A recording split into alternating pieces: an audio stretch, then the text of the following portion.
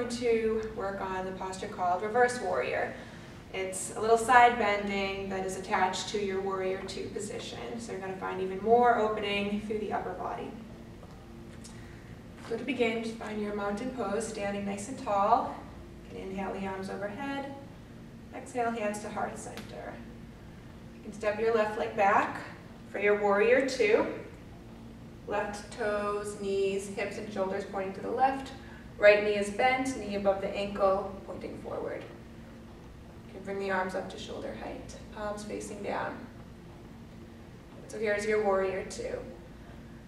To turn this into reverse warrior, as you inhale, you can bring your left hand to your hip, spin your right palm to face the ceiling, and just stretch the right arm up towards the ceiling. So as you reach up and maybe a little bit back, you'll feel a nice lengthening through the right side of your body. Still strengthening the lower half of your body by working your lunge.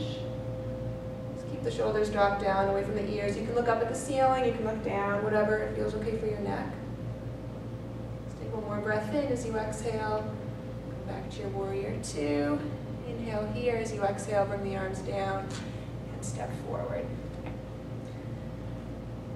Take that on the other side. So you can inhale the arms overhead. Exhale, hands to heart center. Step your right leg back. Right toes, right knee, hips, shoulders pointing towards the right side of the room. Left knee and toe pointing towards the front of the room. You can bend that left knee, make sure the knee's above the ankle, staying open. Bring the arms up to shoulder height. You can look over those left fingertips. So here's your warrior two.